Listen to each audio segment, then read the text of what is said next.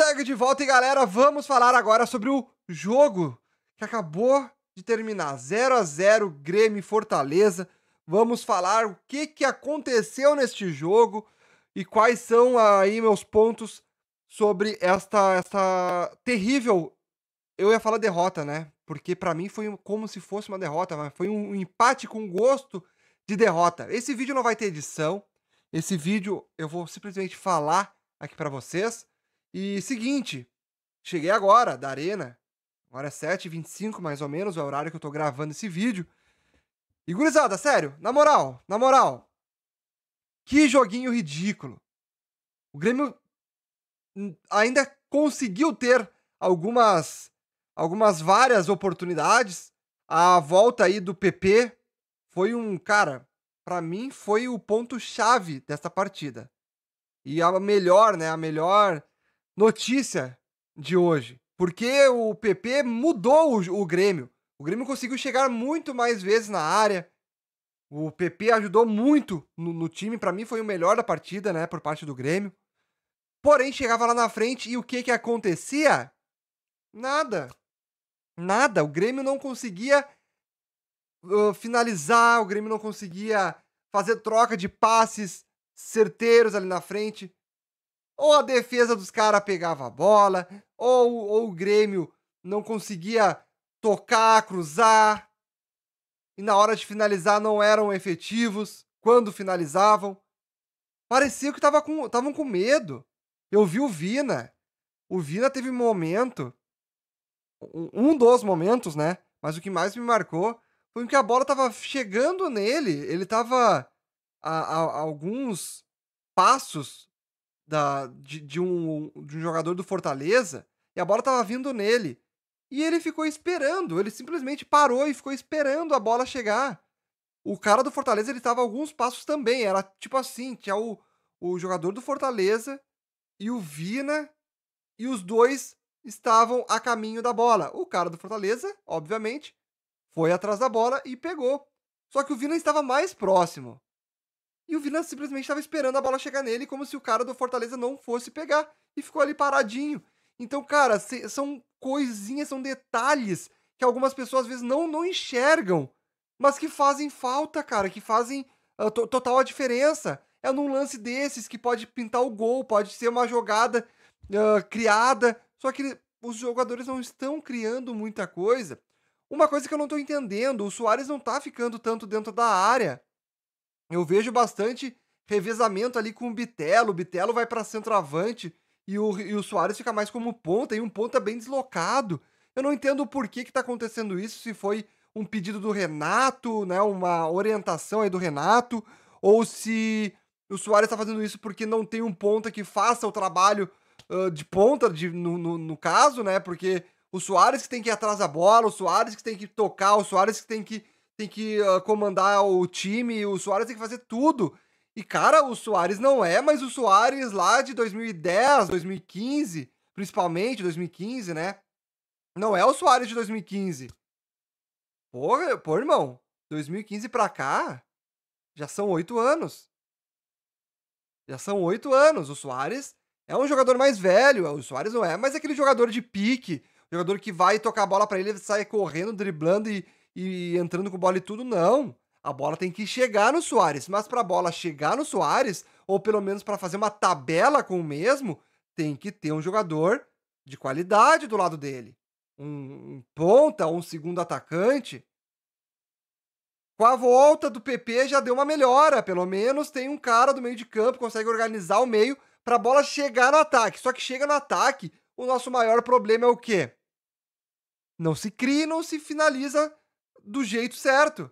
Não tá acontecendo, não estamos sendo efetivos. Esse é o grande problema. E, cara, temos aí Cruzeiro na Copa do Brasil, Grenal no Brasileirão. Dois jogos importantíssimos. A gente não foi bem contra o Fortaleza. Não estou desmerecendo o Fortaleza. O Fortaleza é um time que está surpreendendo muitos.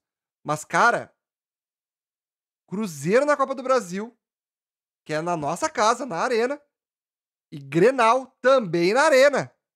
A gente não pode vacilar nesses dois jogos. Perdeu pro Cruzeiro aqui, cara, praticamente decretou a, a eliminação. É muito difícil virar lá no, no Mineirão. E o Grenal. A gente sabe que Grenal é assim, cara. O Grêmio pode estar tá voando. O Grêmio pode estar tá mal. E o Inter é a mesma coisa. Grenal não vai interferir, não, não vai, não vai, nunca, nunca é um, é um jogo uh, escrito. Ah, o Grêmio tá melhor. Pô, o Grêmio vai vencer. O Inter tá melhor, o Inter vai, não. Grenal, cara, é como se tivesse zerado tudo o que aconteceu no ano. Chegou ali as duas, chegam as duas equipes, cara, é enfrentamento. Só que a gente tem que ficar com o pezinho atrás porque o nosso elenco, uh, cara, é bom, tá? Só que a gente precisa ter gente lá na frente para concluir, para criar, para ser efetivo. E isso aí é o nosso maior problema. O que, que adianta a gente ter um elenco com o Soares lá, na, lá no, no ataque, a bola não chegar nele, não adianta nada. E nossa defesa não está das melhores, né, gurizada? Convenhamos. O Grano tá, mano, tá dando pro gasto, mas não é um não é um goleiro que te precisa. Não é goleiro pro Grêmio, desculpa. Mas o Grando, gurizada, não passa segurança. O que, que vai acontecer nos próximos meses? Até julho, até abrir a janela, são dois meses, gurizada. Dois meses até julho. E aí? E aí? Dois meses até julho. A gente vai conseguir uh, manter uma, uma, uma boa campanha até julho, até chegar reforços. E esses reforços que vão vir, será que vão servir? O Michael não tá certo, gurizada. Tem muita. Mano, hoje eu perguntei pra algumas pessoas lá na arena. E alguns falaram: ah, mas e o Michael? Vai vir, né? Cara, não. Não tá certo. Uh, pessoas que trabalhavam, que trabalham no Grêmio hoje me perguntaram: tá, mas e aí, o Michael tá certo, né? E eu falei: cara, não. Não tem nada certo. Eu falei pro cara, e ele falou: Não, tá brincando. Não, não tô brincando, sério, não tá certo, irmão. Tem gente que tá na cabeça que o Michael já, tá, já é do Grêmio. E mesmo se o Michael for do Grêmio, cara, não é uma certeza de que ele vai jogar muito bem aqui. A gente, não, a gente tem que botar na cabeça que é um jogador, pô, tem habilidade, beleza, teve o seu momento no, no Flamengo, foi pro Al Hilal, beleza. E aqui no Grêmio, vai se dar bem? Então, cara, a gente tem que ver o que, que vai ser melhor pro Grêmio. Tá, e se o Michael vir, a gente vai ter que trazer, a gente vai ter dinheiro para trazer mais quantos reforços? Vale mais a pena trazer quatro? Ou vale a pena a gente ficar uh, com apenas o Michael, que o Michael vai resolver nossos problemas? Eu acho que a gente precisa de zagueiro, eu acho que a gente precisa de lateral esquerdo, eu acho que a gente precisa de, de centroavante, precisamos de ponta. Não é só um ponta, dois pontas. Então, será que vale a pena ter só o Michael que o valor do Michael é alto, é caríssimo. E aí, será? Mas enfim, esse jogo de hoje foi um jogo lastimável para mim, né, cara? Pô, 0 a 0 O Grêmio, por mais que tenha tido diversas oportunidades, nenhuma foi tão clara de gol assim. Não foi, nossa, cara, como é que te errou? Não. Na verdade, teve uma, para não falar nenhuma. Teve aqui o, o goleiro deu um rebote e a bola bateu no Bitelo. O Bitelo se atrapalhou e acabou não fazendo. Tava só ele o goleiro. Mas enfim, uma única oportunidade que foi por uma falha ali do goleiro do, do Fortaleza. Mas e aí? A gente não vai mais criar jogadas, tabelar, uh, cruzamento para a área, que, cara, isso aí. Tem, tem, temos o Soares, simplesmente o Soares. E a gente não consegue colocar a bola nele, mano. A gente não consegue botar a bola no Soares. Seja por baixo, seja por cima. Então, gurizada, a gente precisa de jogadores para apoiar o Soares. Não adianta a gente falar, a gente botar nome na camisa e sair por aí. Ah, tem o Soares no meu time. Cara, o Soares não joga sozinho. O Soares nunca jogou sozinho. Nunca jogou sozinho. Precisa ter apoio. E é isso.